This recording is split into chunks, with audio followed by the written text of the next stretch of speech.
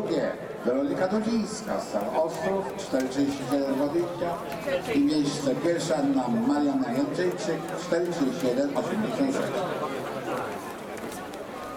W kategorii U20 Zofia Teofilewska, UKS Achilles Leszno.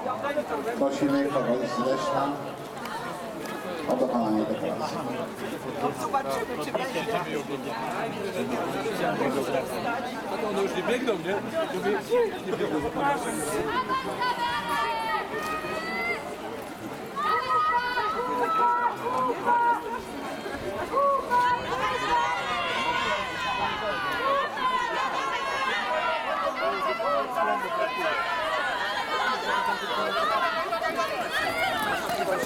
Zwyciężył Jakub Papka, AZS Poznań. Nie.